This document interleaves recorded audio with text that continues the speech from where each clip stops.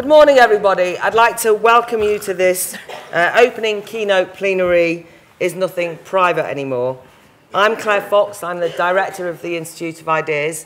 Um, thank you for coming along. I know that there's stiff competition and seven other debates happening in, uh, throughout the Barbican as we speak. But I'm glad that you came to this one because this session is very uh, core to the themes of the festival this year on the confusion between the public and private spheres, which is something that runs throughout at least a third of the uh, 80 uh, panel debates that we've got over the weekend. There is, of course, lots of concerns about invasions on our privacy. We're always reading in the media and uh, uh worries about government surveillance. And the idea, slightly conspiratorially put sometimes, that everybody's kind of watching us and spying on us. And there's a concern about corporations like Google and Facebook that they're collecting data uh, and so on. So there's lots of uh, concerns about our privacy as the public being invaded. And yet, culturally, we seem prepared to let it all hang out. Um, because just as much as we're concerned about the big corporates at Facebook spying on us, we're also um, telling everybody everything about ourselves on Facebook and on Twitter. And there's a sense in which we're prepared to reveal our intimate secrets much more. So there's obviously some sort of uh, contradictions going on there. And we know that there's a, a demands for transparency, that everything should be known, that's fairly ubiquitous, that every conversation should be on the record, um, that even leaking and whistleblowing is now considered to be kind of a positive thing to do. So there's something about everything being out in the public sphere that's very popular at the moment. I particularly find distasteful, by the way, in terms of our private lives, the new Channel 4 series Sex Box. Uh, which I was talking about earlier, which is, is that we seem to think that this is a serious public service uh, that we'll have sex on telly. It's not even pornography. I mean, in some ways, I wish they'd show the sex. It just seems so distasteful to me that it's live, but you don't see it. Uh, the whole thing is like ridiculous. I can see that's the quote, isn't it? Claire wants live sex. Anyway, but I'm just saying that we, so we don't seem to know what should be private, uh, what should be public, and, and so on and so forth. So there's a lot going on there, and um, what, that's the sort of things that I, I, I want our panel to discuss. But there's an awful lot there. Uh, there's too much for them to possibly cover in the five to seven minutes to which they've been allotted.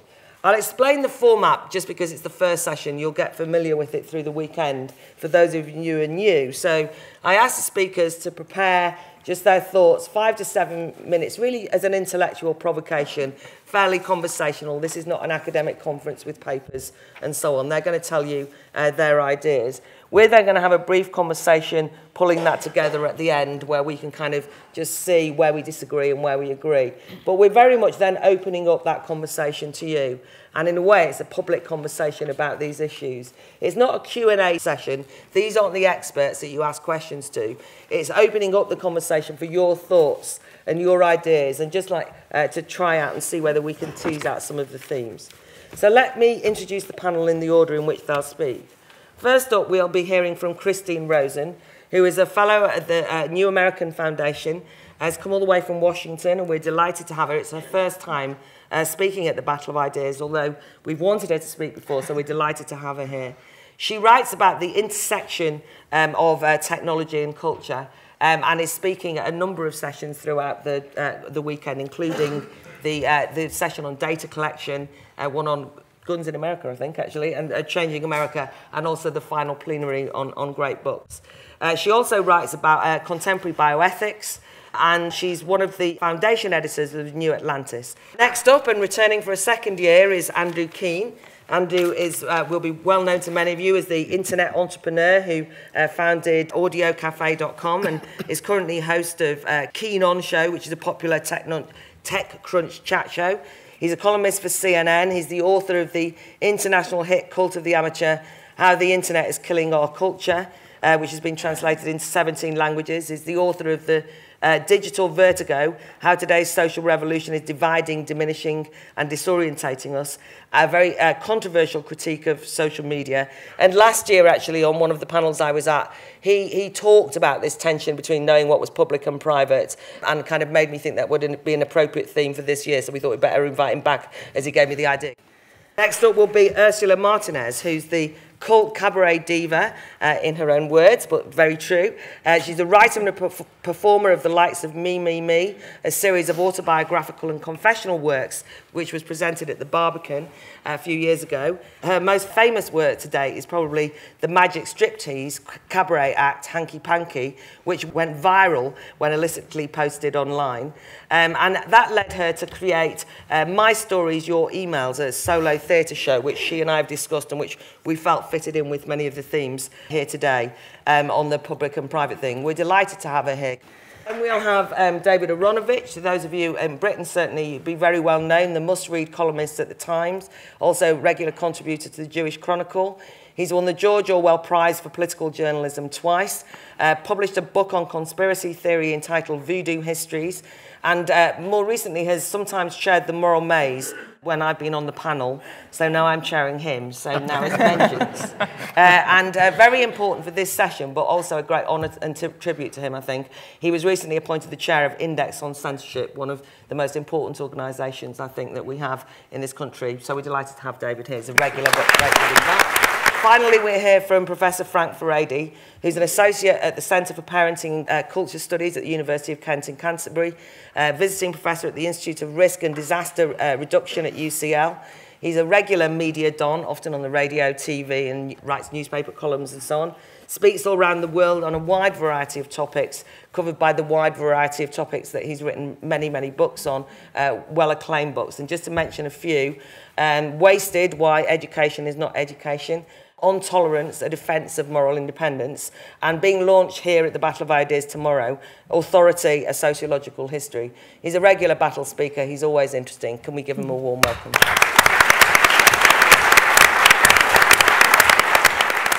Christine, kick us off, please. All right, thank you, Claire.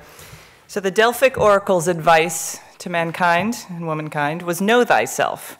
Today, I think it would be show thyself. So, what I want to talk about a little bit in the few minutes I have, and hopefully during our discussion, is why every day we willfully, enthusiastically violate our own privacy. Um, we our Instagram selfies, our Twitter feeds, our Facebook status updates. Um, you can know just about anything about anyone if they choose to violate their own privacy. And I think when it comes to government surveillance or even tech company surveillance of its users, we tend to have a pretty strong reaction to that. We have an opinion about those violations of privacy. But when it comes to talking about why we violate our own privacy, we're a lot more muddled. And I think that's because it's an instinct. We have a deep instinct for privacy that we often don't understand exists until it's violated. But I want to make a little argument about how our technologies play into that. I think our software and our machines are actually designed to elicit more information from us and um, has, have encouraged us to em embrace the constant revelations that we feed them. Now, in his new dystopian novel, uh, The Circle, the fiction, American fiction writer Dave Eggers uh, has a corporation called The Circle with the nefarious intent to have uh, perpetual surveillance of everyone, and they have some interesting slogans. It's the corporate slogan for The Circle is "Secrets are lies, sharing is caring, privacy is theft." Now, I don't think we're quite there yet. I think that uh, these technologies of communication are, are very helpful. We love them. But there's a reason that our culture has devised terms such as oversharing, uh, TMI, too much information, and the phrase that I think captures a particular kind of anxiety of our age, FOMO, fear of missing out. So these things all play into why we want to violate our own privacy. We fear being unconnected, we fear missing out. And we often talk about privacy in this context as a trade off, as if it's some sort of replenishable currency that we can continue to deal out to ourselves and to others and that we have control over. I don't think it is. I think when we think about our personal privacy in these terms, we've already lost some of the debate. So let me just throw out there one quick idea, which is about the self. And I think pre-internet technology, we had a sense of the self, certainly in the 20th century, as a private, inviolable thing. It developed over time. Our quirks, our passions, our sympathies all had time and privacy to develop. We could test them out with each other and in small groups. Now we test that out publicly. And um, what I want to challenge us to think about today is whether we're moving towards an idea of self that is more transparent, but that also leads us into being um, a kind of people who are fearful of having an undata-based experience. Thanks, Christine. That's actually a great way of, uh, of thinking about it, and I really like the fact that you've helped us focus on the self and kind of working through that. So, um, uh, Andrew, give us your thoughts, please.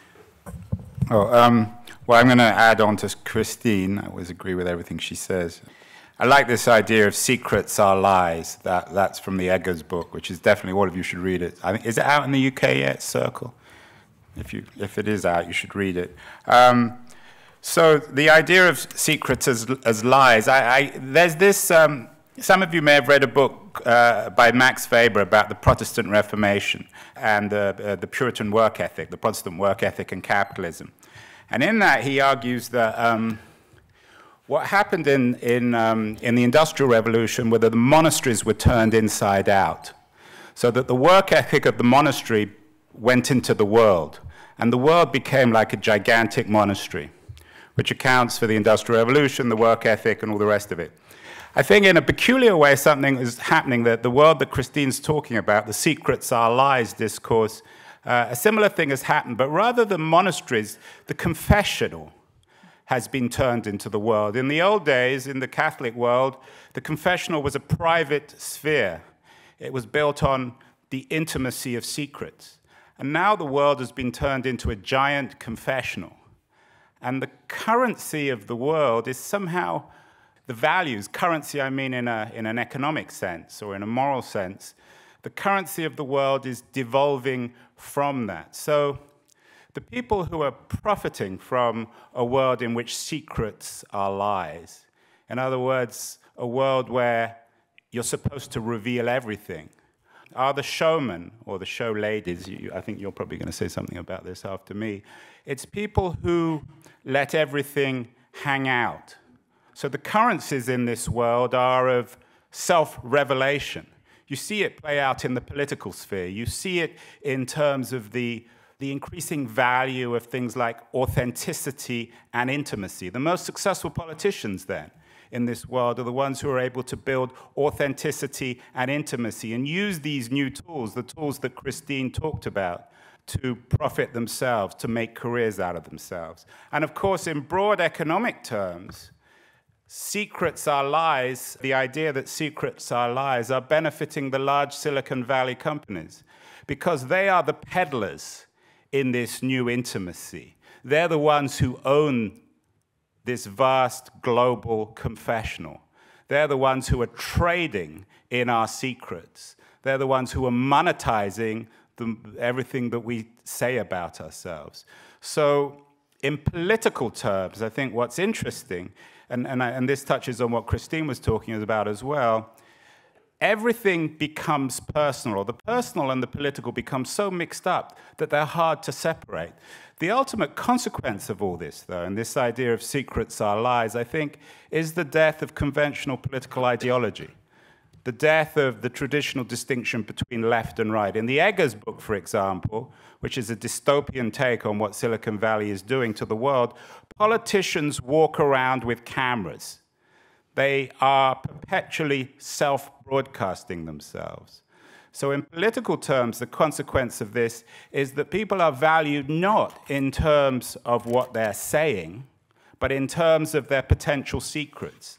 And I think Frank is, I hope Frank will say something about authority in this world, because it's a new kind of authority. It's a moral authority. The traditional authority of the expert, of the political party, is being undermined by the authority of the authentic the authority of self revelation, the authority of the confessional. So the public takes it for granted that politicians are corrupt. And the only way in which politicians can prove they're not is by walking around with their cameras. The casualty of this, of course, is serious political discourse. The casualty is that everything gets reduced to the individual and everything gets reduced to the personal. So this panel asked Today, that private space is increasingly subject to public scrutiny. But actually, that's wrong. The world we're living in today is one in which public life is subject to private scrutiny. So the tyranny today is not of 1984 or the traditional tyrannies of the 20th century. The tyranny today is of the personal, of the private, of the confessional. And we need, as with all tyrannies, to throw this off And maybe that's one of the things we can talk about today, how we get rid of this kind of tyranny. Thank you, Andrew.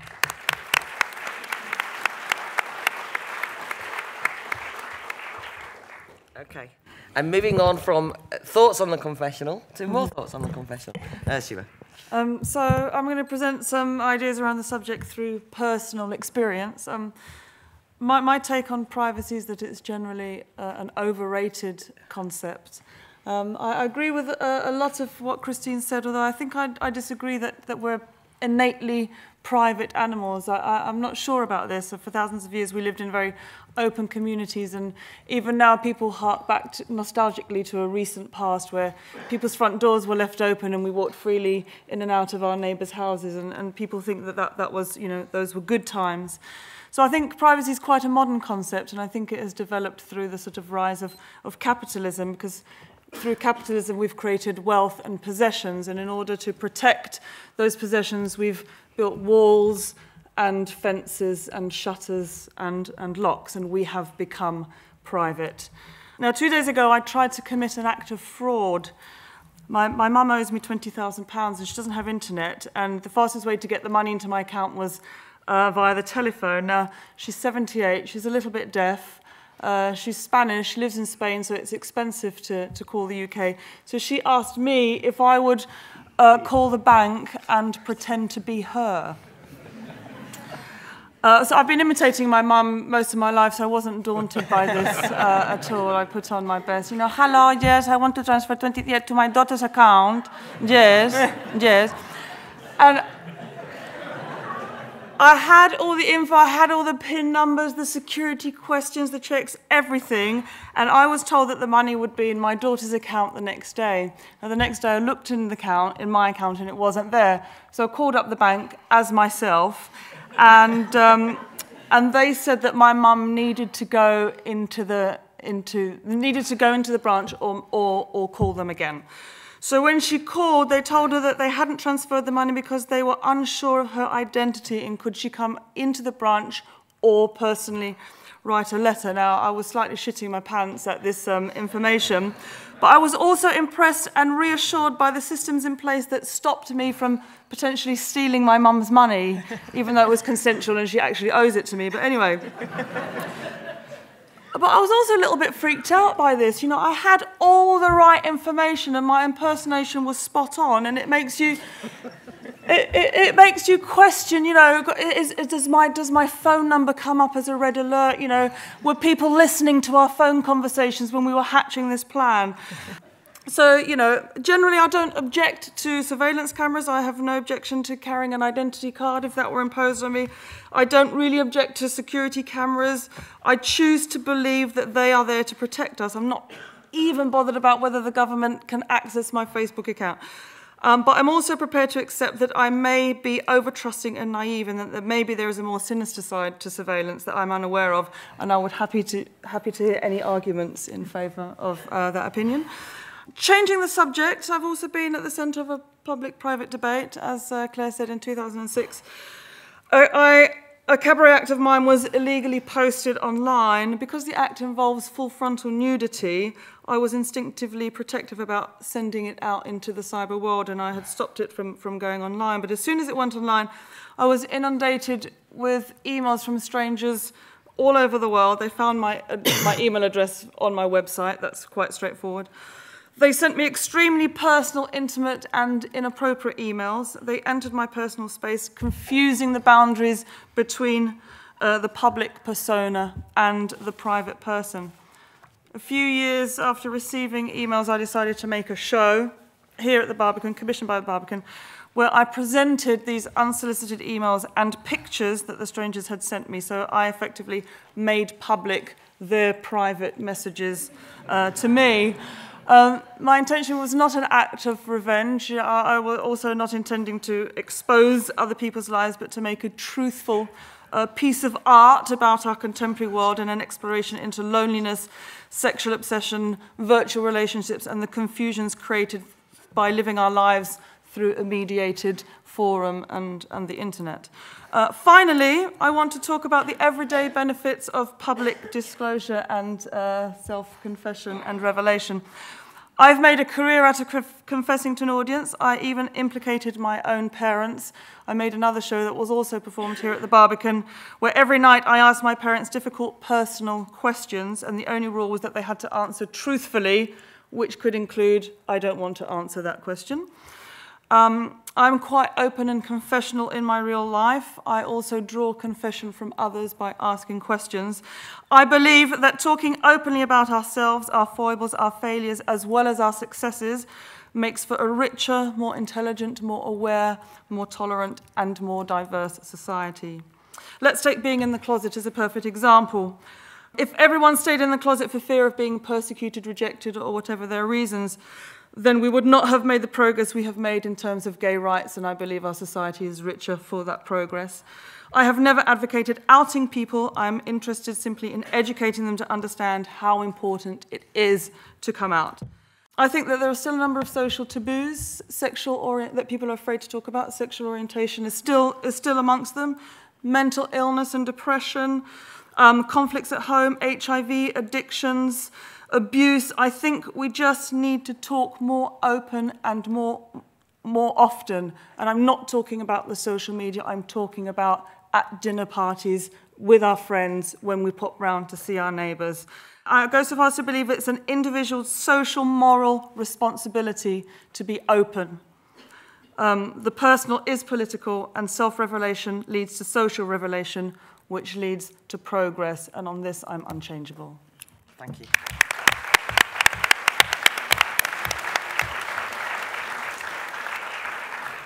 A, perfect and passionate um, uh, counterweight, I think, to some of the things we've heard, but very useful in terms of moving the discussion on. So, David. I was very seduced by your notion of what would make a good Channel 4 programme. Uh, Claire, which is essentially you see the sex but with the faces pixelated out uh, and with no discussion afterwards uh, and so on. Um, such things are, I have to tell you, very readily available on today's internet. Um, God, I always thought I was an original thinker, David. Yeah. In a way, I have a kind of difficulty, which is that I don't actually have a position. Uh, in the sense that I don't really recognize the millenarian notion that, uh, in other words, I think Dave Eggers' novel is a clever dystopic fantasy, and like most dystopic fantasies, it will contain an element of truth, and like most dystopic fantasies, it can't be regarded as a prediction. There are a few that, uh, that do, but mostly uh, they don't. I suppose the reason for that is that in general, in democratic societies in particularly, where essentially what we're talking about is a range of human behaviors that by and large go beyond policy. In other words, nobody decided that simply by passing a law for easier divorce, so many of us would get divorced. Only we could decide whether or not we wanted to do that, whether we wanted to set up separate households and so on.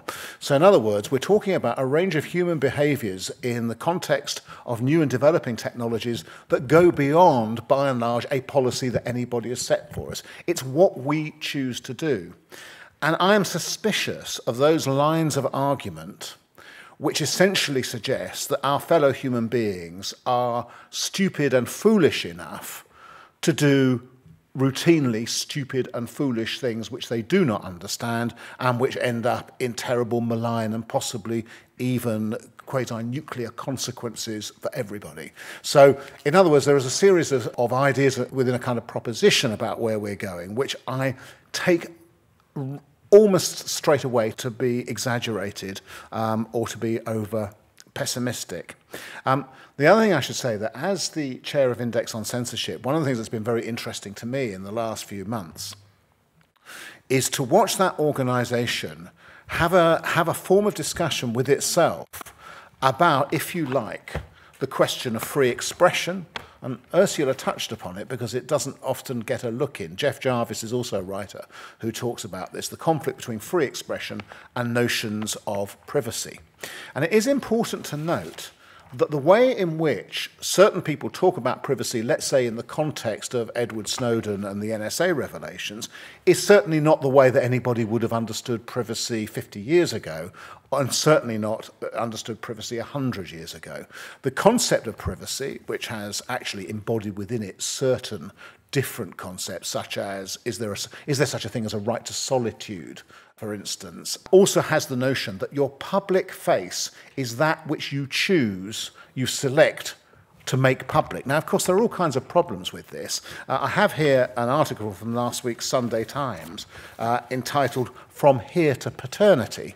Um, it is the article about Mia Farrow's suggestion that her son, Ronan, who was originally christened Satchel, and being called Satchel is a reminder that there are worse things that can happen to you than an invasion of pri- your privacy, um, such as having parents who will call you Satchel uh, and so on. Um, was in fact not Woody Allen's uh, son, but Frank Sinatra's son. Now, whose privacy do we consider to have been violated in the construction of this story, and who did the violating?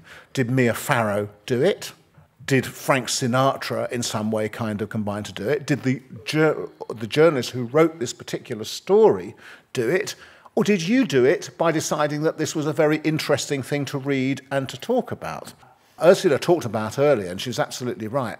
There are a series of beliefs about past privacy, about past times, which include actually a closeness of living together, which we would regard as being very unprivate until the Middle Ages and until the Renaissance and so on. Oh, or I could take another example. I had to share a bedroom with my brother until I was 15. Am I to consider that my privacy was routinely violated up until the age of 15, but suddenly I was liberated from this violation at the age of 15? Actually, at the time, I'd have said that the answer was certainly yes. Um, and he probably would have said, uh, he would have said exactly the same thing.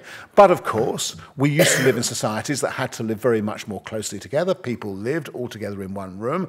If sex was going to happen, then it had to happen unpixelated, uh, but presumably when other people were asleep. The word comrade, I discovered when looking it up, actually means, or, derives its root from people who share a room together, often while on the on the road and so on, because people would have to do that because there was no way in which they would have, in that sense, private space for themselves. And anybody who's been to Pompeii has seen the way in which rich Romans defecated together whilst talking around sort of large uh, something which I would consider to be the ultimate invasion of modern privacy. In fact, uh, I have here a fellow Spurs fan down the uh, down one of the worst things about going to a football ground, or oh, the Spurs ground at the moment, is that they still have those kind of trough urinals where you can, if you are so minded, look down a complete row of urinating penises and so on, and somebody can look at you. I find these things absolutely horrific.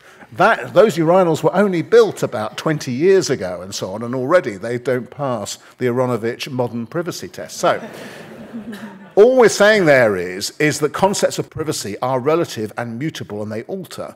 And therefore, we are also saying that we have a particular series of problems and challenges dealing with how the concepts of privacy alter in the light of new technology. And now I'll come back to the point about index on censorship and then I'll leave it there. The problem for an organization like Index on Censorship is that we are primarily a freedom of expression organization.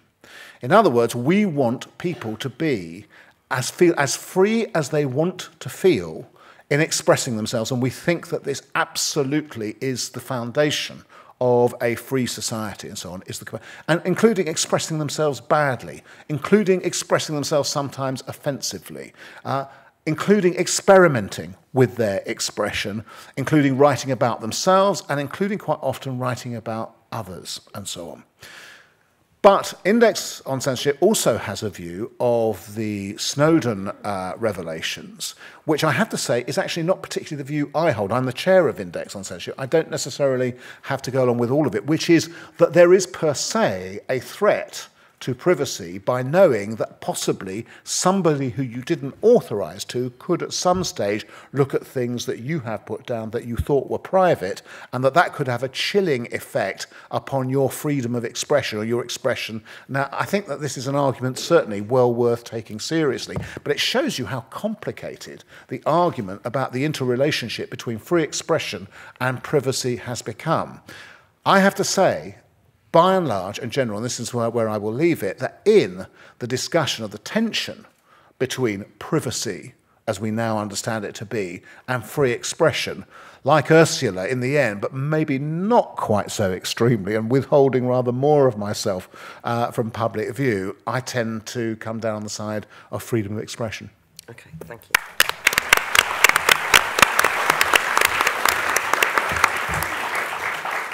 Yeah, I mean, I think you draw out quite a lot of the tensions that I have with this as well, kind of know, or, or rather I, I, I shift between where I think the, the balance is. But anyway, um, so that was very useful, David. Thank you. So, Frank, just kind of finish off this formal part, please. Your thoughts. Thank you. Uh, I actually think that uh, freedom and privacy are mutually reinforcing concept and that privacy is logically prior, both historically and logically prior to freedom and the exercise of freedom rather than being antithetical. If you go back to the Greeks, Pericles' fam famous speech, you will find that it was always seen as having a, an existentially fundamental role to play.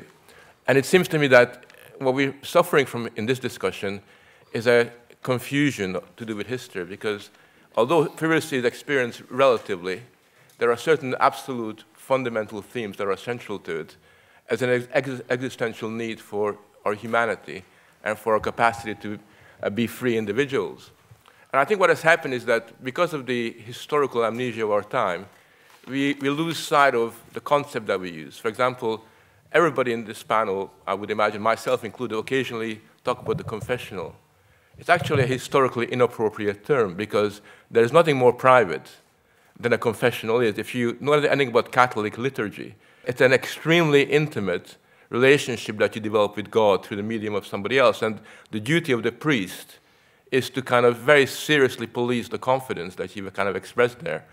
I think it's a sign of the times that we can't even retain the confessional in its proper historical sense by the fact that in places like Australia and elsewhere, there are Catholic churches that have transparent confessional booths because we're worried about the priest you know, abusing that particular kind of right. And, and the fact is, is that the, we can't even hold on to something fundamental as that. I think that the problem that we face is a cultural one, and it's not a technological one. I think that uh, a long time before the internet, cultural pressures have been created which pathologize privacy. And there's already important discussions in the United States, David Riesman's Lonely Crowd, discussions on candid camera, which happened a very long time in the 50s, which already indicate that if we go down this road, we are going to lose our sense of self and can only realize it as a public performance. So there's already that stuff that's kind of coming out. And I think what the tragedy is that people, when they talk about privacy these days, are always conscious of the old forms of the attack on it. You know, the police keeping an eye on us, identity cards, you know, sort of the NSA spying on us. And I think that's the most trivial aspect. That's, you know, that's nothing new about it. And, and usually it's kind of overplayed quite a bit. But what we're very scared to address directly is that we're so uncomfortable with the private sphere that we increasingly have changed our language. So the word secret now is the worst thing you can, you, you can't have a secret with a child because that's a marker of being an abuse. You can't have a family secret because, you know, why are you hiding something? But of course, you know, if you know human history, you know that we all have our secrets. I mean, we, our psychological needs for secrets is really quite important, and we're all entitled to have our secrets because that's the way we make our way and that's the way we you know, sort of learn to live with the world and the pressures that are kind of, kind of bear upon us. But I think what's very sad to me is that uh, when you look at the way that the private sphere is talked about, it becomes a site of abuse, it becomes a site of domestic violence. And whereas everybody in this room would say that when a policeman says, you know, what's wrong, you know, why are you worried about an identity card? If you've got nothing to hide, you know, sort of, you know, what are you worried about? If you're innocent, we all know what to say. We all say, well, actually, it's none of your business, you know, uh, as to whether I'm innocent or not. That's my right as a citizen. But when somebody comes along and says that we need to check what's going on in your family in the name of the child, you know, sort of, you know, and if you've got nothing to hide, you know, if you're a good mother and father, then, you know, what are you worried about? Then everybody caves in and rolls over. And I thought it was very, interesting that in this country, people criticize the anti-terrorism laws and the surveillance of individuals on, underneath that. But when the CRB checks were kind of introduced on adults being with children, everybody thought it was really cool. You know, I mean, having you know sort of 15 million people in a police database who come near children, that's perfectly all right because children are involved. So what I'm trying to suggest is that the minute you uh, sort of emphasize the intimate aspects of our life, you know, personal relationships between man and woman, husband and wife, children and adults, then it's really cool to colonize the private space of people because that's actually you know, a good thing. At that point, the, the private sphere becomes seen as being an entirely hostile environment with very little redeeming features. And uh, you might say, well, that actually means we, we worship the public sphere. But of course, we, are, we know from human history that the quality of public life is 120% dependent on our capacity to be private individuals. You know, we go out into the public domain and we engage with one another because in, in our private sphere, we are allowed to reflect upon ourselves. We can be who we are. We can relax a little bit. We can take the mask off, you know, for, for a little while, and we can, we can get back there and be proper public citizens. But in the absence of that, what has happened in this country, and Britain is probably one of the more extreme cases, and I don't want to sound millenarian, but when I hear, for example, last week, the head of Ofsted saying that uh, the problem of education in Britain is, is bad parenting, and that actually what happens in the private sphere that is responsible for a public problem, you do realize there's been a massive shift in the way that we view our world. So whereas in, ever since the Enlightenment, we more or less saw social problems as what they really were, you know, sort of problems to do with the public sphere, the way that the economic, social life was organized and distributed. We now increasingly blame the private sphere, what happens within the, the domain of the private, as the cause of virtually every single social distress.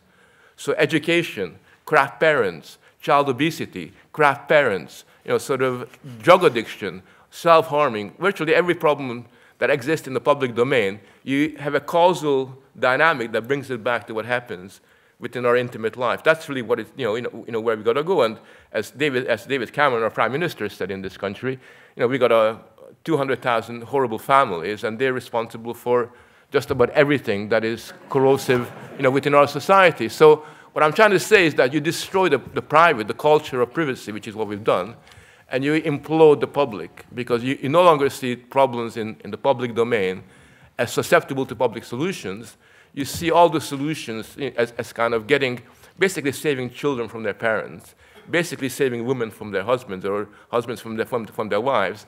And you do end up in a, in, in a world where we do become caricatures ourselves. Just one final point. Privacy is nothing to do with the geographical distinction. I mean, you know, you had in the old days people coming in and out of their houses.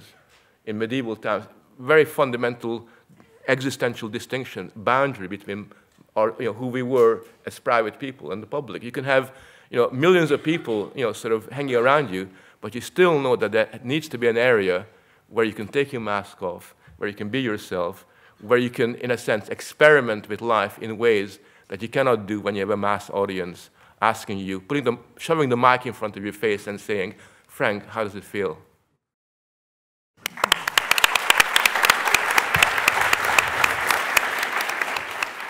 Very briefly, just try and pull things together, and do feel free to just respond to what each other said when I, so you can ignore what I'm going to ask you when you're coming back.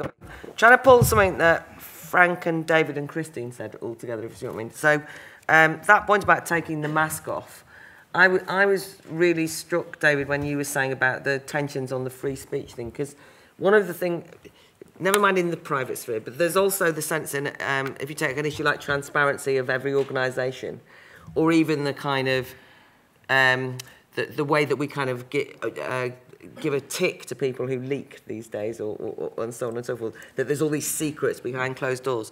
One of my fears is that that we are taking away um, this place in, in institutions where you can speak off record and where in a way you can take your mask off and where you can actually think aloud and say the unsayable.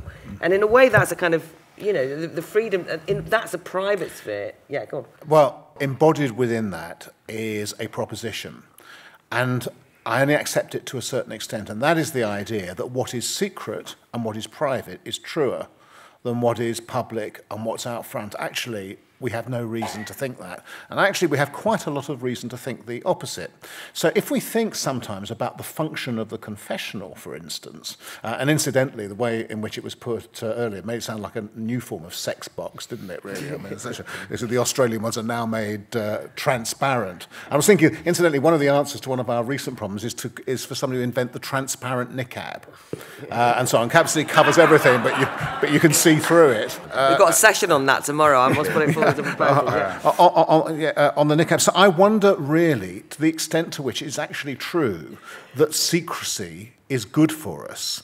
I don't mean that it's always bad for us. Ursula posits, if you like, the, and it was brave to do so, the complete opposite, which is always bad for us.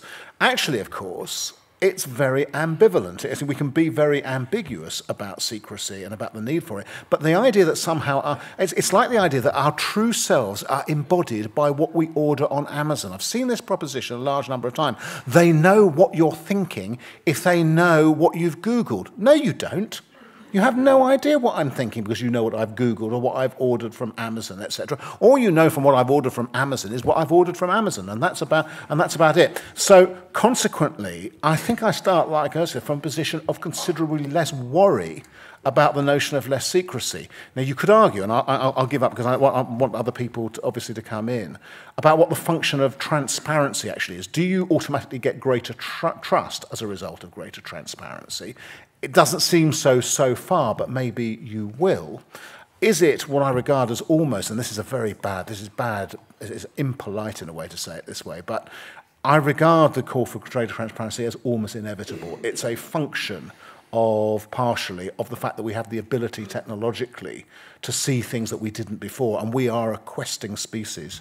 Christine, um, what about that sort of notion that historically there was much more clarity? I mean, regardless of what views of self are, but just historically, politically, it was understood that there was a private sphere that was distinct from a public sphere, regardless of what you thought about what was happening in that private sphere or not. Um, do, you know, is the concentration on the self making it too micro and kind of missing the point? Um, uh, maybe a little bit, but I will say um, I'm glad Frank brought up Riesman. There's also a, a, great American sociologist, Erving Goffman, who had a conception of the backstage, and this this was uh, this was a discussion that you could have about you could have about institutions, but he had it about the individual, which is that everybody needs a place backstage where they are free to express themselves. It actually is an argument for a kind of freedom of expression, but it's not the way we're discussing it now. But it, he felt that this was central to the creation of a, of a sense of self. But you could make a similar argument for institutions institutions, that there needs to be freedom. Look, I'll give you an example from one of the most dysfunctional institutions of recent memory, the United States Congress, which I was very glad they finally sort of got their act together before I came here because I was, I was uh, hesitant to talk about them. But transparency arguments were made um, about uh, five or ten years ago.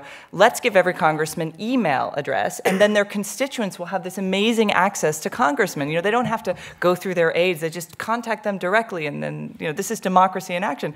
Well, it's now harder to reach your congressman than it was before email, in part because congressmen were inundated with email, and so now everyone's on Twitter and they, they do these Twitter blasts. So, I mean, I think that it's very, we, we come up with technological solutions to existential problems, and we do that at the institutional level, and we're doing it as individuals to the, to the problem that Frank was, was articulating um, in his comments, that there is this existential challenge. I mean, what Pascal said, this is the greatest problem mankind faces. He can't sit alone by himself with his own thoughts in an empty room, right? I mean, this is a human challenge.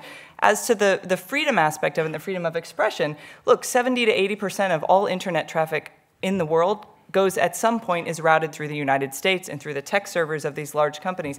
That is a, not the kind of freedom of expression that I think we're talking about here. There is an infrastructure in place that makes a lot of these discussions moot if we start looking at who owns the information. So I think we can talk about it at the individual level and the choices we make, but there's a bigger institutional crisis here, and those companies lack transparency if we're talking about it at that level. Uh, what do you think, Ursula, about the kind of notion of the demonization? That there's a danger of what of, of the kind of converse of what you're saying, which is to demonize those people who want to have private lives that they keep to themselves. I mean, you were saying you use the, uh, appropriately the in the closet and that you weren't going to out people. But, you know, the, the kind of space for, for me to say mind your own business got nothing to do with you. What, what? No, absolutely. Yeah, no, no. And you're absolutely entitled to, to, that, uh, to that opinion, and it's simply my job to try and change your opinion so that you do talk more openly about yourself and about your sex life and the box and all of that. You'll all be glad to know it's not going to happen anytime soon, folks. Don't worry. Box is so, so absolutely no. I, uh, so you know that that is you know the perfect metaphor. I don't believe in outing people, but it's just simply my job to kind of encourage them. um, uh, Andrew and, uh, and Frank, I mean, you had your kind of confessional difference, but were you actually arguing anything differently? I mean, Andrew, did you recognise Because I thought it was interesting, actually, because I presume that you were kind of slightly referring to David Aaronovitch's point, Frank, about the geographical space. But Andrew, did you recognise that, or do you that, that it's not so? It doesn't matter whether you can are all living together, but there was a sense of privacy historically. Is that true, or is Frank being romantic, or Frank romantic? Never. uh, well, in the I think he was being romantic about the Catholic confessions and how we can't, you know, we can't even, you know, speak about confession in that traditional Catholic way of private. It's like, yeah, well, my who cares about that? Let's have a different form of confession, and that confession was always implied guilt. My confession is a sort of confession of sort of innocence and kind of. Yeah, I mean that was my point. That it, it's it's it reverses the confession. I'm not suggesting that that literally the world has become a confessional. I'm saying that the whole thing is turned on its head. I'm very critical of the nostalgists, the people who idealize history and always make this argument oh, well, before the industrial age, we all lived in villages and we all wandered into each other's homes and we were half dressed or undressed and we sat on the toilet together and we were very happy. I, I, just think this is, uh, you know, it's like you might as well go on and say, well, um, you know, 500 years ago there was torture there was perpetual warfare and religious persecution and all the rest of it. So let's just go back to those things too. I think one of the achievements of modernity is the carving out of the private from the public, is the mythologization, if there's such a word, or the, the doing away of the mythology of the state and of the dominant political institutions to carve out independence for individuals. And the idea, Mark Zuckerberg in Facebook said he wanted to create a world which was a giant, well lit uh, dorm room. Because in the eyes of these people, we have nothing to hide. Eric Schmidt also said it. Uh, well, wh why, why do you care if, if we see everything you do? You shouldn't be, if, if, if you're embarrassed by something, just don't do it. Uh, and I think Dave is also wrong about some, somehow conflating Amazon what you buy on Amazon and what you do on Google. I mean, the reality is he, he's right about Amazon. I mean, the fact that you know what books you're buying or not buying probably is not that relevant unless you're an author and you want to force people to buy your own books. But when it comes to Google, there is a fundamental threat. Google is joining the dots. Google isn't just a search engine. Google is a, a social network. Google owns the dominant video platform. Google is the dominant advertiser on the web. And as it joins those dots, Eric Schmidt again said when he was asked by somebody at the FT where he wanted Google to be in five years, he said, I want to know people better than they know themselves. Not because he's Big Brother, but because he wants to sell advertising around us and turn us into products. So I am fearful of companies like Google. I think it is a real threat. It's not something that's easy to dismiss. Frank just, just to make a, a, a kind of a, a, conceptual distinction, in, uh, because we're kind of using terms maybe uh, a bit loosely. Uh, conceptually, there's a distinction between the private and the intimate.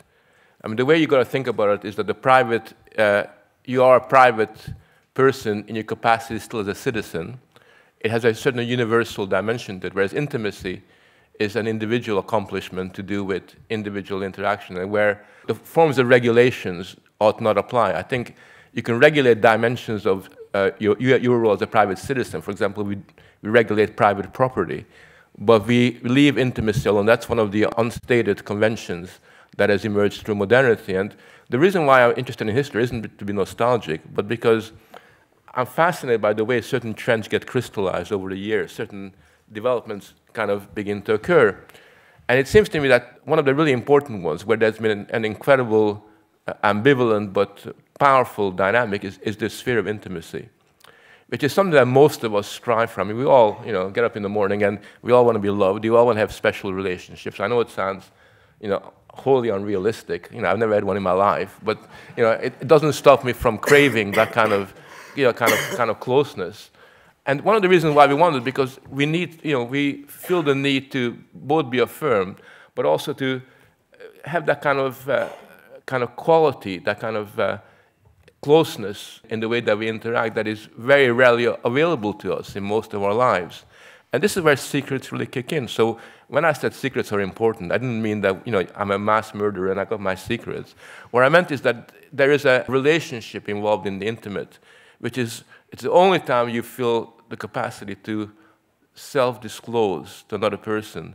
You say to that person things that you would never dare say to anybody else. It's a very dangerous thing to do because in the, in the very act of self disclosure, you court betrayal. You, you kind of, you know, you risk being betrayed by somebody else. Now, my point is very simple, is that as we pathologize the uh, private sphere, we also seek to undermine intimacy. And one of the ways you can see that that's going on is if you go to the United States and you go into any bookshops in America and you go to the self-help section, you'll find there are millions of books on women who love too much, you know, women who love their cats too much. I mean, it's all about codependency and the danger of just being a little bit too close. And I think it's that cultural pressure point that ultimately explains the whole unraveling of the cultural affirmation for privacy. It's, it's, it's our, our, our disorientation and our estrangement from being that, taking that risk with that other person. And, and, and it's our longing. Very quick, very quick, because I want to go out. Yeah. It's our longing for. Um, it's a bizarre world where we long for two things more than anything else intimacy and trust. In a world where by doing that, we're destroying both intimacy and trust, which explains the crisis in trust politically, I think. Thank you, particularly towards the end of that debate, because it started to make some clarity for me. And the thing that I'd like to say is, and I'm going to quote somebody whose husband died, and she said to me, I have lost what it is to be known. And that was about something about, though those things that Frank Furedi talked about, about intimacy, trust, the things that you can dare to say and to be in a place where you know that is not going to be betrayed. And I think the distinction between that sort of relationship and the way that we give away those things in the ways that uh, the new uh, media allow us to do is a, is a very slow and sneaky thing that's happening. And I'm, I'm frightened, particularly for young people who don't realise that the experiments that they should be doing about the announcements that they make about themselves are so public and also indestructible. I mean, I first sympathise um, greatly with David Aaronovitch about this situation at Spurs at White Hart Lane. I thought Spurs were trying to stamp out racism in sport, and now we hear they're in, inspecting people's penises in the, in the lavatories. Not for that reason, I think. I thought that Ursula, I thought that Ursula put her finger on it um, wrongly. for God's sake. so you have seen the video. Excuse me. Two. This is the Institute of Ideas. I do not want to lower the tone any I thought you put your finger uh, wrongly when, when you said that uh, you didn't uh, care about identity cards and you wouldn't object, you said, if they were imposed. And that's the point. You know, it's all right for you not to object about identity cards. Say, hey, if, you know, if you, people want to have something to prove who they are, and you want that, fine for you. And what it misses, I think, is the crucial aspect of this, which is control. You know, somebody else can choose not to have an identity card if they don't want one. And so you're happy for it to be imposed on you, but they'll be imposed on everybody. Oh, I know, and so what, the so idea what, that so what, I'm happy for it to be imposed This is the important thing, you know. This is the important thing. We're talking about some individual control over that boundary between the private and the public. And, you know, it's about a space, and, you know, however we define that space, within which people have the opportunity themselves freely, you know, to explore and experiment and so on, and to express themselves. But most importantly of all, to say where the boundary between that space is for themselves. I mean, I do worry, especially when the chair of the, uh, the uh, Index on Censorship organisation says, you know, that there's a supposition that all that's good in the, all that's in the private sphere is good. You know, do I hear an implication there that, you know, somebody outside the private sphere knows what is good and true and should have the ability to go into the private sphere to find out what it is. No. Now, that's, this is, but this is what is an issue. This is what is an issue. It's about the element. People can say, you know, it isn't anybody's business whether there is something wrong or wicked or, or what somebody is thinking or saying or doing in private. This is the point. So the idea that, you know, if there was a supposition uh, that everything is good, that would be fine. It's, a, it's the point about people being able to say, you know, for me, I want this space, and that element of control is being eroded in a myriad of ways, many of which have been talked about here. I must say that this motion that privacy is lies, I totally disagree with it, and I quite frankly find it very um, disturbing and scary. Um, just because something's private doesn't mean it's a lie. Um, and the only way that we can have total control over our lives is through this privacy. We need to be open to ideas and society's problems, but there isn't any need to reveal our most intimate thoughts and our feelings. And those who um, do choose to do so are either very brave or idiots, because if they are, well, because whatever you are, you are ignoring the fact that there, are, that there can be severe repercussions to actually opening your mind to the world. And you're um, opening yourself very much to um, a lot of attack, I suppose is the best way to put it. If people are afraid of revealing their feelings because of this backlash from society, we should talk about these um, problems that create this backlash, not pressuring them to be open um, when they don't want to be. It was useful to hear discussion of the difference, the relationship between privacy and intimacy. Um, I'm interested in uh, whether there's a meaningful distinction between privacy and secrecy. Um, in British Sign Language, the sign for uh, private and the sign for secret are the same. Mm. You move your hand in front of your face like that, like a door opening or closing, or a veil opening or closing, although you mouth the words differently. Um, it seems to me one important distinction between them is that private is a less pejorative word than secret, and that the, the conflation of the two is itself a form of attack on the idea of privacy. In as much as if someone asks you a question and you respond, that's private, to a certain way of thinking, and it's one I subscribe to, for most intents and purposes, that is sufficient. That stops the conversation, certainly at an individual level, and, and to a large extent at an institutional level as well. But the assumption that privacy and secrecy are interchangeable assumes that that's not a sufficient sign. Um, and, and I think it's very interesting that that conflation is taking place. The most common name now for domestic violence um, projects is behind closed doors. And they often start off, I mean, this is kind of like been recommended as if you're setting up an NGO, it says behind closed doors. And it often starts off saying, what are the secrets that go on when the door closes? And you think, I don't know, you're having a fish and chips and you're with your family. but I mean, I, you know, it's like sort of like, no, but it, but it is interesting that, I mean, obviously domestic violence is horrific, but that it just is associated with closing the door of a family home where you have secrets and domestic violence all conflated into one. Obviously, is something weird happening there. I just wanted to pick up on something David said almost in passing about transparency and trust, because this is something that comes up a lot the idea that you actually increase trust through greater transparency, mainly on the institutional level, but there is obviously also this implication kind of in, in people's private lives. And and I do think it's a it's a very strong drive. I hear it in all sorts of contexts, like oh well, you know, we have all this data about organisations, and they will open up their data, and so we'll trust them more. And it, my feeling is it's fundamentally misguided because actually trusting means that you don't want to know everything somebody's doing. You you don't want to know every time your partner has a thought you certainly don't want to know everything they think. You trust them to not do something you wouldn't want them to do. And on an institutional level, can it really increase trust if, if we demand to know everything that is going on? Is that not a sign that there is no trust? What David Aaronovitch said um, at one, point was no, there's no policy for openness. It's what people choose to do, which is absolutely right. But on the other hand, this implied that there was no consequences to what people did. In other words, you could argue that people choose to eat certain things, and the result of eating those are obesity, ill health, which have personal and social consequences.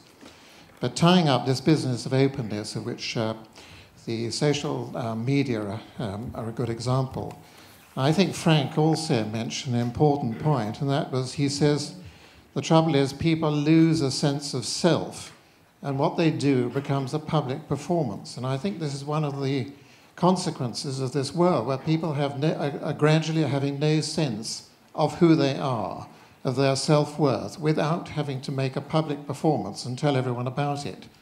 And if the world became what Ursula seems to be suggesting, I think it would be one of the most boring things we've ever got. That essentially everyone is telling you everything about yourself. And it reminds me of someone who went to America on a plane and sat next to an American, and within two seconds, chap was telling me he's got varicose veins, he's got a peptic ulcer, and he's divorced and he never sees his children. And what she actually wanted to do is read a book. So this is, I mean, this is proliferating and it is becoming a problem. But I think the most important, for, particularly for young people, is a, is a lack of knowing what your self worth is, who you are, unless you can tell everyone what you're doing. Okay, Ursula. I'm, I'm not advocating boring conversations with strangers on aeroplanes. I'm just simply advocating let's not shy away from the social taboos that hold our society back and move us forward, you know, as human beings, which is a very different thing. I, am not going to defend the talkative American. It's, it's a stereotype for a reason.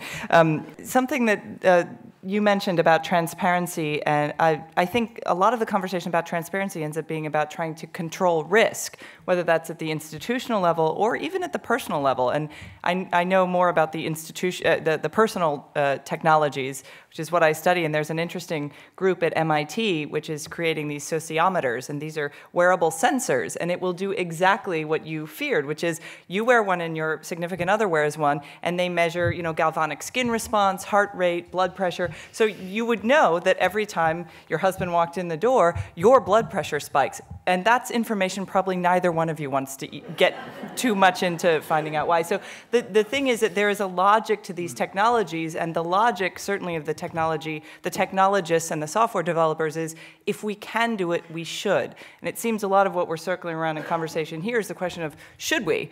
And I think that's the conversation that certainly isn't happening in Silicon Valley enough. Um, and it's nice to hear some of that happening today. I, I think it's also interesting to think of this in terms of the kind of crisis of the state and of the definancing of health systems. Because what you're seeing, I think, is an alternative system coming into place an alternative society in which we're increasingly defined around our data and what we do or don't publish. And in the healthcare era, I think it's particularly relevant.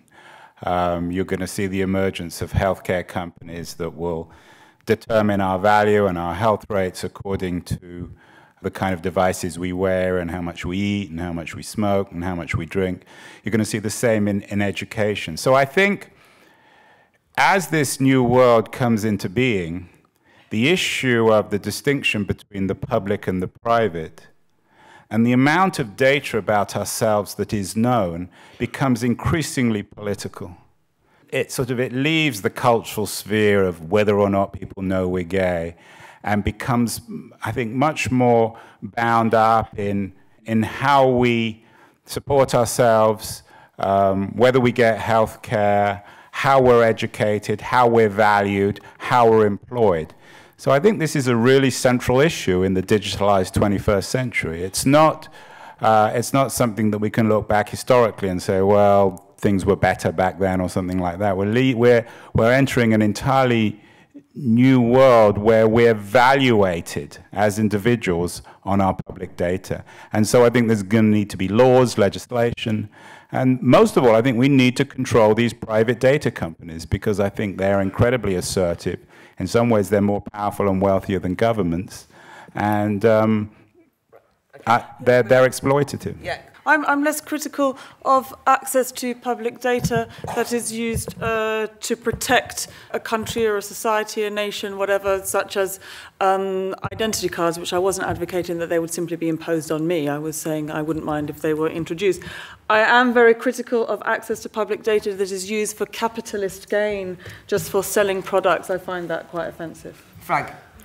Well, I don't, because unlike Ursula, my problem is when I called my bank to get money out of my account, they don't accept the fact that I'm Frank Furedi, and it, what you should be a two-minute transaction turns into a, a year-long struggle. Um, I just want to say something about secrecy because um, if you look at the, his, the history of the, of, the, of the word, the way its meaning has changed, it's very, very interesting because historically, secrecy was pathologized, first of all, by religious organizations because secrecy was associated with heresy. And uh, various heretics were kind of seen as being having these secrets uh, in the way they, the religions that they kind of practiced. And then later on, uh, secrecy became a, a, political tool with which to pathologize radical movements, you know, secret organizations, secret societies of various sorts, and that, that has continued until this day. The interesting thing about secrecy today is that secrecy uh, and its pathologization has shifted from the state to the you know, individual to an interpersonal one. And it's really about the policing of interpersonal relationships much more than to do with, you know, sort of being resistant to big institutions.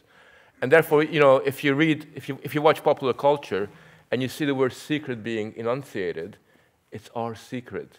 And you immediately know, and the signal comes up when you say, it's our little secret. You usually have a man going up to a child late at night and saying, oh, let this be our secret. And you just know straight away that this is a marker for some horrific violation, degradation of that individual. So the word has changed quite fundamental, and it's now really a, a word used to open up the door to the intimate space. And that's, that's, it's a very important shift that has occurred. And I think people should read about, uh, there's some interesting literature on secrecy.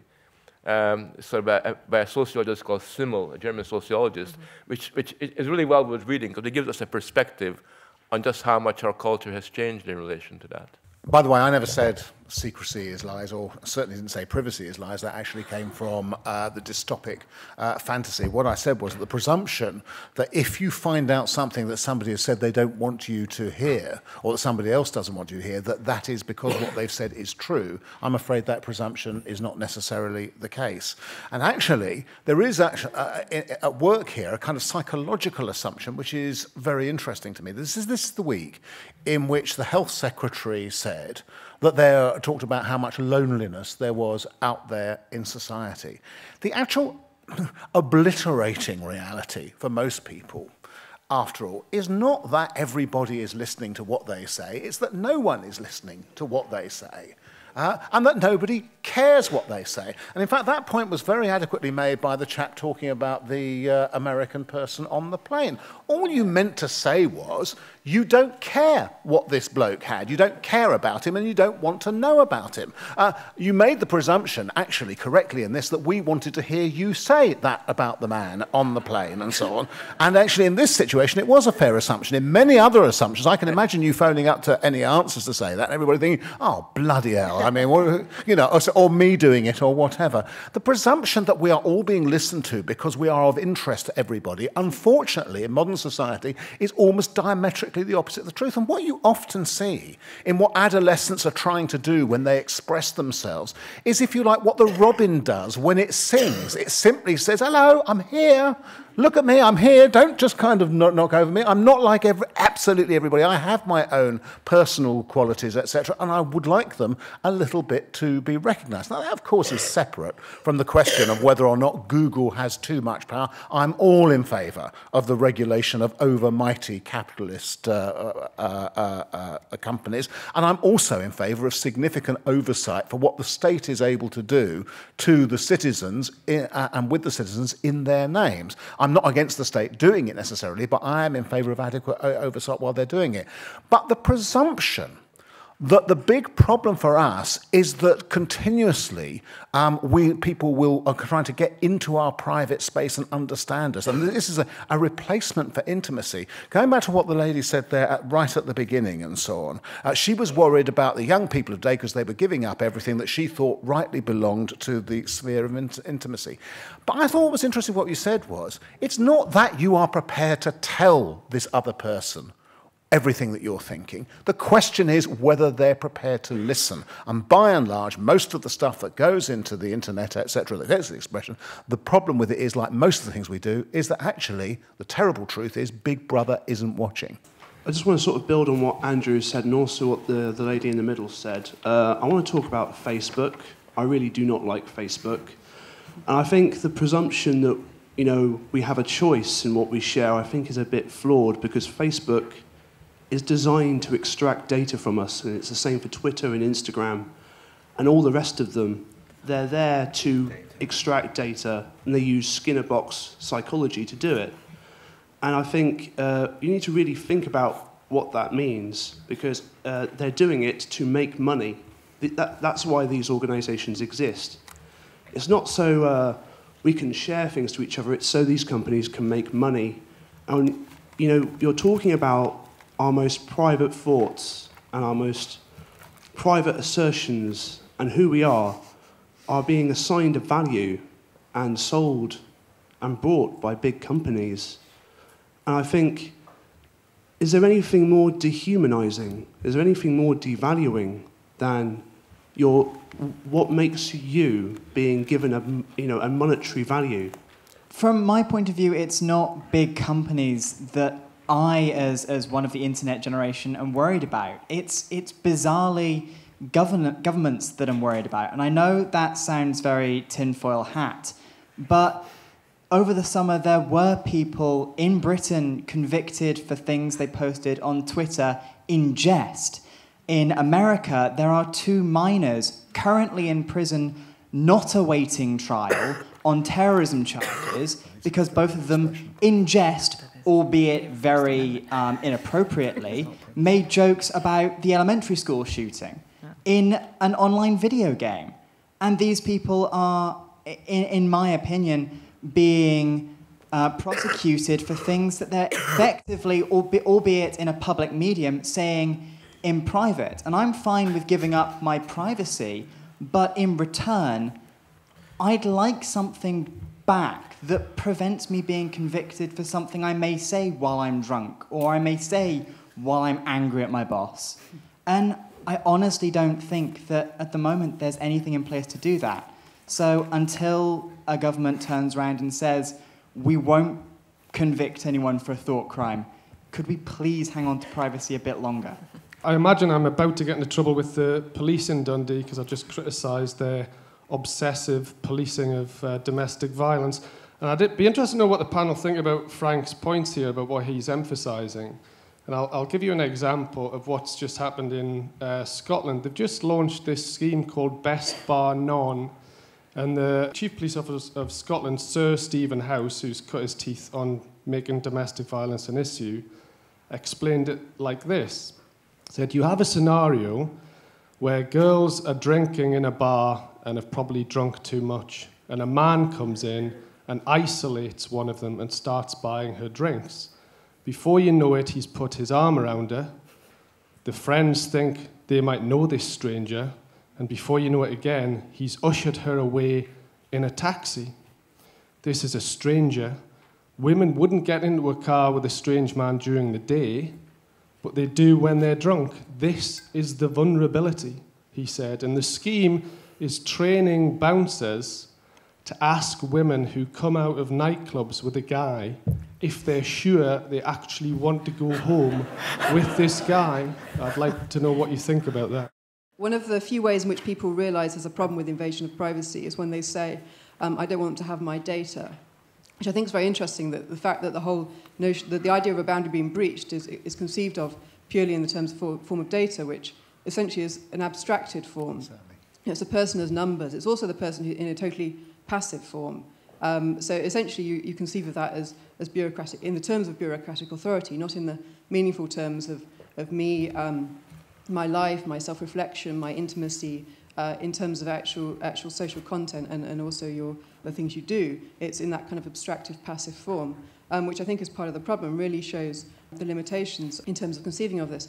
I don't really understand why people uh, don't need privacy. I don't understand why it doesn't assert itself as an existential need. I mean, I think uh, I would have to check in the funny, into the funny farm without, um, without that sphere where you can write, write notes and have closeness and all those sorts of things. And I, I think that there is a kind of um, how do people live in, in that terrain of, of, of responsiveness and Facebook where everything um, is, is visible and where you exist purely on that plane. And so, uh, you know, are there implications for for intellectual work, um, for, for relationships in, the years to come. You know, what, what hope for origin, originality if people don't keep diaries or write letters, but, you know, um, uh, but, but, but kind of post everything on, on blogs? Uh, uh, just one, one thing to think about in terms of like the different spheres is just even how we speak. I'm, as it were, not, not as interested in my private life as I'm in my, you know, I, I kind of value what people do in the public sphere, not just me, but, you know, I want politicians to do. I don't care what their private lives are. I care what their politics are. I don't, and so on and so forth. But it, but so it's not to kind of make a kind of big thing about the most important thing about you is your private life. But think about if we all spoke in private as though we were being overheard. That's the thing that I don't like. The the kind of notion that you can't have a a place of experimentation. That's why I was asking you about the transparency thing, because there's nothing worse now than people who kind of like go to meetings and behave as though what they're saying might be leaked. Do you know what I mean? It's like sort of like automatons, and everyone becomes risk averse because they're frightened to say something like lively. You know, you're trying to say the unsayable or the unthinkable, even just amongst a group to see what it sounds like because you constantly think, will this get out? But that does have a counterpoint as well, which is that if people think that they can consign a great deal of the discussion, let's say, about important issues to the private sphere, yeah. firstly, it doesn't mean what they're saying is actually going to be any truer. And secondly, they get into the they get they can easily get into the habit of sequestering their true thought from everybody else if it is indeed their true thought, uh, and so on. And that and, and that and that's a problem.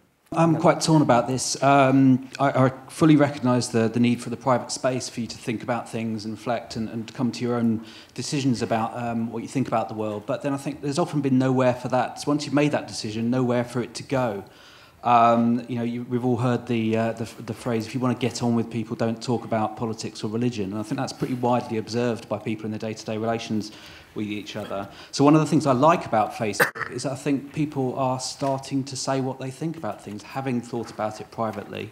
Um, often then it just kind of goes out into the ether, but then it gets seen and maybe debates will come out of that. So I think it's a good start. Uh, a number of the panelists have expressed uh, concern about um, companies using uh, data for capitalist purposes. What is the concern? I mean, for me, uh, if companies are being responsive uh, and wanting to know how they can offer a better service and if they make a profit, fine. What is the concern about Google knowing more about me so they can offer a better service? I'm not sure. So the public-private couplet, I'm not sure that privacy is just simply the private. So I think privacy is, is as much something that we give to other people as, as something that, that um, we should be entitled to ourselves. People talk about it, um, or are talking about it simply as like the leakage of information and this kind of thing. And I think that's going to happen. It always has happened. You know, it's the basis of most Mike Leigh films, you know, where you kind of work out that people are getting divorced and having affairs and all the rest of it. But privacy is about us. Maybe we're going to ignore the fact that they got drunk at the office party and we're not going to mention it uh, uh, when they come for their pay review and that kind of thing. So privacy is kind of both ways round. And I think learning to look away is, um, it, it, you know, whether it's in the urinal. Uh, there's, there's a, Back to the sex But we right, do. We, we evolve it. People, people work it out. I mean, there's a, you mentioned the Romans defecating together, but there's a scene in All Quiet on the Western Front where they defecate together and they talk about their bowels and they, you know, they just sit around and chat. And that was, you know, First World War. So people work these things out, and, and uh, privacy is a kind of fluid thing. But I think public-private, and, and, and I think it's fluid along that spectrum, but public-private is kind of a different thing. And I think it's not just the mask coming off when we go into the private sphere. We, we also um, get the chance to be something else as well. I think you can, um, you know, uh, when, when I walk in the front door, I get a, a, a great reception from children, dogs, and uh, sometimes my wife. Um, and very different to when I walk into the office. You know, I can be something different at home. I can be the uh, aspiring guitar player or whatever, you know. So it's where children learn to become this thing that they will eventually be in, in public. Um, there's that great Shakespeare sonnet, you know, my, uh, my love swears that she is made of truth which is all about this idea that you kind of lie to each other. You're getting old, but you still say you're attractive. It's, uh, you know, in every home across the country, children are saying to their mum they look great before they go out. So it's, um, it's uh, not in ours. No, okay. No, they do it. Yeah. so, so it is a place where you can try on different things as well. It's not just the yeah. mask coming off, and, and you, you sort of. And I think the, the, the two are being blurred. So the public, uh, the values from one are crossing over into the other. We're being judged in public on our private. Uh, just on the, uh, the right, Google yes. thing, uh, there was a lot of nodding uh, that happened when I think the point was made about all oh, the, the, the gathering data to, uh, for capitalist purposes.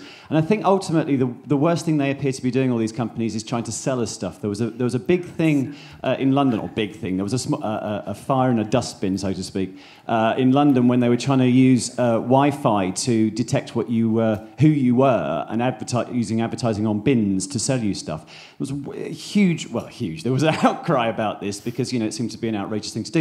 And yet Ursula seems to have no problem with the state invading our privacy, or, or at least as uh, policing us as far as you know terrorism, etc., is concerned. Well, and I think, sh- hang on, hang on. I think what that indicates is that uh, it's a suspicion of people and a lack of trust in each other. Because what you're saying is, what people are saying is that oh, we're too stupid to resist the advertisers, and we're also too stupid not to want to go out and plant bombs and kill each other. So I think there's a real uh, lack of uh, faith in humanity that's that's uh, uh, exactly summed up in your attitude, Ursula. Which okay, I said that... I was open to the to open to the counter argument because I understand that maybe my ideas might be naive and over trusting. Okay. Okay. I think we're going to leave our children with the moral questions of how we want our world to be going forward. As technology increases, as um, your personal data uh, from uh, medical records are kept uh, are moved from from the doctors to your personal you're going to find out some people are going to find out that their father isn't genetically the same. As you're mapped um, genetically that could be out in the domain. And then if that is then in, dots are connected, you then may have a, a, an identity card and they could um, make decisions on you. No, you're not going to do that or you're not going to be employed because you're more, more of a risk. You know, these sort of questions are going to come out. Just touching on something David said before uh, about us wanting to learn uh, about, about other people's lives.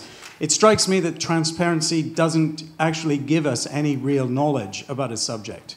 And if you take a look at the sort of final frontier, death, everybody's talking uh, how we should expose death. We have it on the internet. Uh, we have that gruesome circus of macabre corpses going around uh, as if we can sort of gain some sort of insight. And yet, nothing really is learned about death. You cannot understand death without understanding the person whose life ha- has gone. So, all of this focus on death has not given us any, any sort of insight at all. And it seems to be, if anything, the extra transparency is confusing the issue and leading to less understanding. I think in some ways the damage has already been done to intimacy. I mean, if you're a parent, you certainly, you may not be aware of it, but there's always a third person kind of in the back of your head or maybe kind of up here who's always evaluating what you're doing and wondering what the consequences are going to be. Um, so that because we've internalized this idea that there's something a bit risky about our relation, our intimate relationships. It means there's almost like an inner policeman there, and and it and it just it, it's even if even if it wasn't codified in law, it's there. You can't get away from that that self-examination, which is not coming from you, but it's coming from this wider mistrust of intimacy within society. So, panel, in the order in which you spoke, Christine, give us your, your final thoughts to the audience, please. Okay, I'm going to say something positive and then something negative. Uh, the positive first. Uh, this, these issues, there, there is some optimism here. Intel, the uh, chip maker, just did a, a multi country survey about people's feelings about technology. One of the most interesting findings is that people aged 17 to 24, who are basically suckled at the teat of technology since birth, don't know a world before Facebook, they agreed much more strongly with the statement that technology is making us less human. And by that they meant we're too reliant on it, we need to think more critically about it. These are this I found to be very optimistic. This kind of questioning is happening in the very generation where we're most concerned, I think, about the future. As for the negative, for every single person who says, oh, What's the big deal? Google's just trying to sell me a product, Amazon's trying to sell me a product, Facebook's trying to sell me a product, you are the product and you should be concerned. And in the US, we're already seeing litigation linked to um, whether people can get health insurance based on their patterns of behavior. And this is what the technologists do want to do. They want, they're not just concerned with selling you something you, they think you might like on Amazon. They are going to link it to your everyday behavior, your private choices, and there will be data to track that. So I do think we should not at all be naive. If this was an oil company or a tobacco company or a gun manu- or weapons manufacturer, we would not believe for a minute when their CEO said they were trying to improve the universe. Uh, thank you, Christine. Uh, Andrew? Yeah, uh, I'll do one positive and one negative too. Uh, and I very rarely do positive, but I'll try. Uh, I agree, obviously, with everything Christine says. Um, but I, I, it is a weird world where the more transparent the, the more transparent a world we're creating, the more we have a crisis of trust and authority. And we need to make sense of that, and we need to figure out how to to, to reinvent opaqueness in, uh, in, a, in a world which is too brightly lit. Foucault said, and I always quoted him in my book, Digital Vertigo, he said, uh, visibility is a trap.